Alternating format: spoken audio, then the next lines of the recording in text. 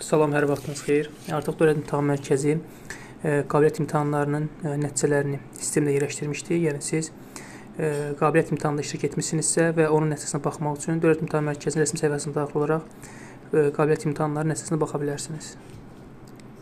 Dövlət İmtahan Mərkəzinin rəsmi səhifəsinə daxil oluruq və aşağı hissəyə daxil olaraq qabiliyyət imtahanının buraxılış vərəqəsinin çap edilməsi bu hissəyə daxil olur. Burada həm e, imtahan verməli olan şəxslər daxil olaraq öz buraxılış vərəqəsini çap edə bilərlər, həmçində e, imtahan vermiş şəxslər buraxılış imtahanının nəticəsinə baxa bilərlər.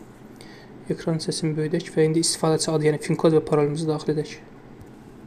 Məlumatları daxil etdikdən sonra daxil düyməsini sıxırıq və davam et düyməsini sıxmaqla imtahan nəticəsinə baxa bilərik. Bəli, yəni namizəd 61-ci komissiya üzrə imtahanda iştirak etmişdi və e, imtahanda məqbul qiymət almışdı və Dövlət İmtahan Mərkəzinin e, qoyduğu qanuna görə əgər 61-ci komissiyada məqbul almış şəxs, yəni məqbul alırsa şəxs, hə, avtomatik olaraq 62-ci komissiyadan da məqbul almış hesab olunur. Ona görə də e, 62-ci komissiyada, yəni 61-ci komissiyanın məqbul qiyməti şamil olunduğu qeyd olunmuşdur.